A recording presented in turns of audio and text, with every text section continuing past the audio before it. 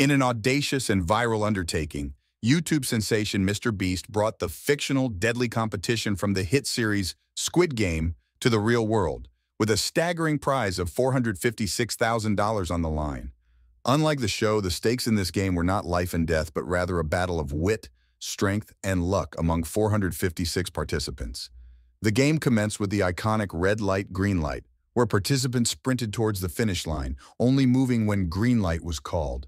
Any movement during red light resulted in elimination, signaled by popping devices strapped to the players, ensuring a dramatic but non-lethal exit. From the start, only 232 out of the initial 456 contestants managed to survive this first harrowing challenge. The second challenge, Honeycomb, further slashed the numbers.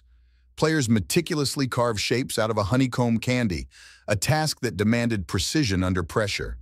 The survivors, now just 142, faced a tempting offer of $4,000 to walk away, a moral dilemma echoing the show's themes of greed and desperation. A brutal game of tug-of-war followed, pitting teams of 10 against each other. The stark reality of this competition was highlighted by the sheer effort and teamwork required to survive, as losing teams faced immediate elimination, having the player count once again.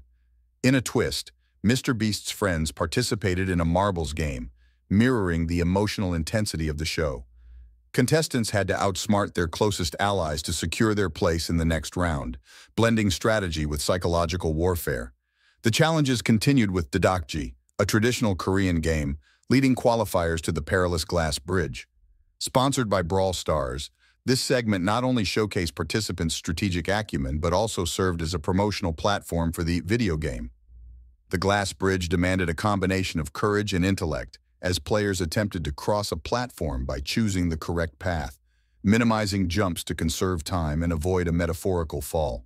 In an exhilarating test of nerve, contestants were required to jump off a platform before a countdown expired. This leap of faith resulted in four more eliminations, setting the stage for the final showdown. The ultimate game reduced to a high-stakes round of musical chairs, an ironic yet fitting return to childhood simplicity after the complex and physically demanding previous rounds. The tension was palpable as each contestant was eliminated, leaving just two in the arena. In a final twist of fate, a game of chance decided the victor, awarding one lucky participant the grand prize of $456,000. Mr. Beast's real-life Squid Game was a masterful blend of entertainment, suspense, and human drama, capturing the essence of the original series while emphasizing the value of competition without the cost of life. It stands as a monumental example of how reality and fiction can intertwine, creating an unforgettable spectacle that enthralled millions worldwide.